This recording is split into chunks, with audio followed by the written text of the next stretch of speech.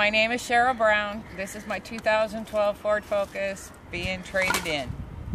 And Upland Ford took really good care of us.